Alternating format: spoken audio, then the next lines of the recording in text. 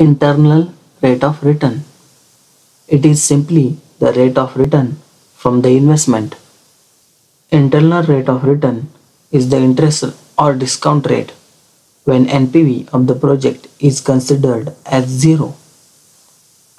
Consider the formula for NPV. NPV is equal to CF0 divided by 1 plus R raised to 0 plus CF1 divided by 1 plus R raised to 1 and so on, where NPV is net present value and CF0, CF1 are cash flows over the life of project. For example, CF0 be the cash flow initially and CF1 be the cash flow at the end of first year and so on. Here R be the rate of return and N be the life years of project.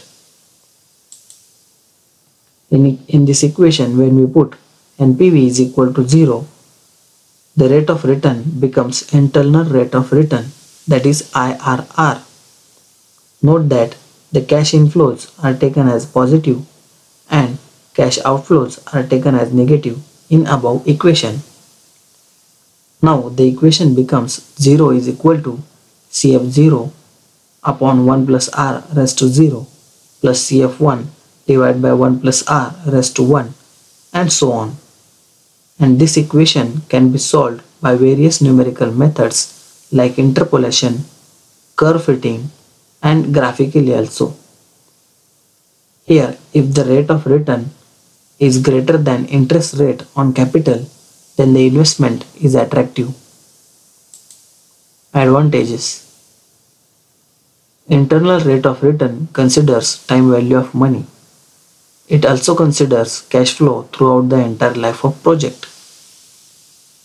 The term indicates rate which is easy to compare with interest rate in market. Limitations Internal rate of return does not distinguish between lending and borrowing.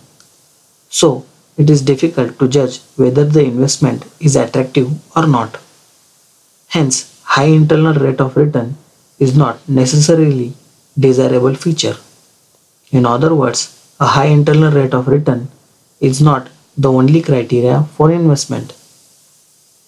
Also note that there should be risk and sensitivity assessment associated with these financial criteria since uncertainty in cash flows may create financial difficulties in investment.